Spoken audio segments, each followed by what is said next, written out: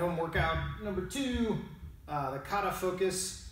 So here's, I want you guys to work on footwork today. Go through your form three times, or if it's really short, six, do each one twice.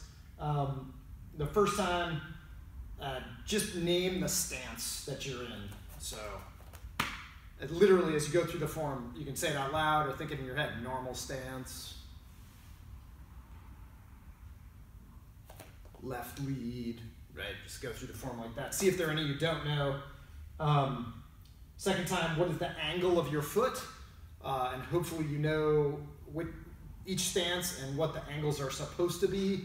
Sometimes in some forms there'll be uh, positions that we don't have a name for for the particular stance. Hopefully you know what those angles are, but if you don't, write that down. It's a great question for me or someone else, right? Normal stance. Oh, my feet should be straight ahead. Oh, they're not. So I fix it, right? Should still be straight ahead, etc., etc. Um, and then the third time, what part of your foot are you pushing off of? That just means can you feel uh, when you strike or block or kick? Are you pushing off the, the heel, the outside, the inside, the ball? What are you doing there? Um, so again, pick a moyetto, a nice simple form here. I feel myself turning into the ground and kind of the, the whole foot here is evenly distributed.